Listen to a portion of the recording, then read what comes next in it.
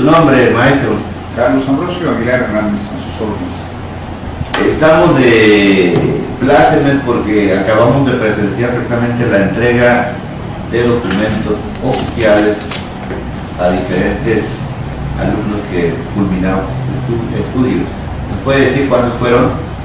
Sí, mire, vamos a entregar cinco títulos y cédulas profesionales respectivamente de alumnos egresados de diversas carreras, de manera esencial, en en Derecho, en Administración de Empresas, Ingeniería Industrial, que son los alumnos egresados de nuestra universidad. Eh, tenemos este, Freddy, que, es, que egresó de Ingeniería Industrial, nuestro amigo, este, nuestra amiga Marta Filomena, eh, nuestro amigo Alamilla y este, una compañita de compañeros también trabajadora de Petróleos Mexicanos de apellido Lagunes. Lagunes, que igual son compañeros egresados de de la misma y orgullosos nosotros de que hayan confiado en nuestra universidad para su formación académica.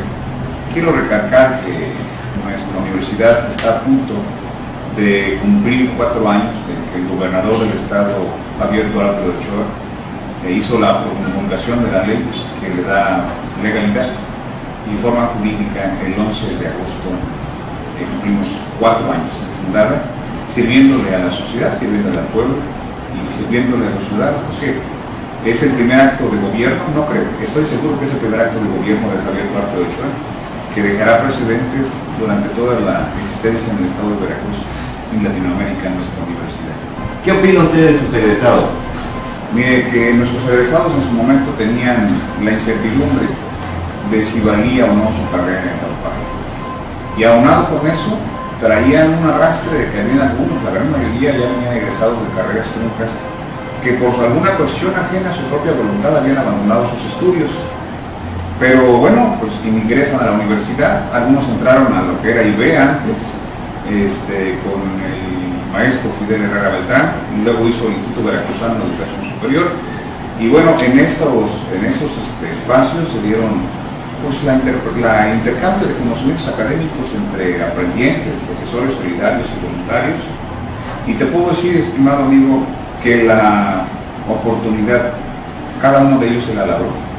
Cada uno de ellos cuando me los encuentro se sienten orgullosos completamente de haber estudiado en la UPA la representan con mucho orgullo. Y cuando alguien se atreve a decir algo en contra de nuestra universidad, la defienden con conocimiento, con toda la legalidad, pero más que nada con todo el corazón, porque aman a nuestra universidad.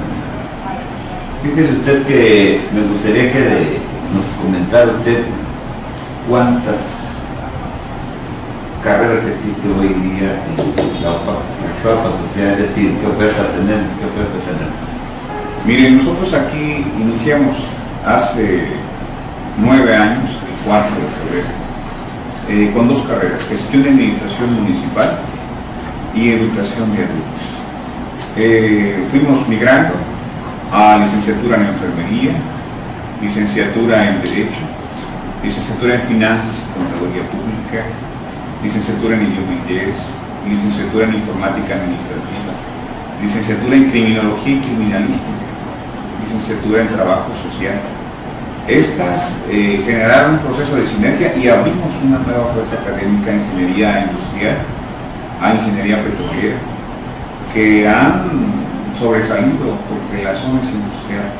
Hemos ofrecido los 46 programas, pero de ellos son las carreras que estoy comentando, que tienen mucho auge, mucho éxito, y la gente a veces lo único que necesita es una oportunidad, una ventana donde pueda mostrar que es capaz de salir adelante.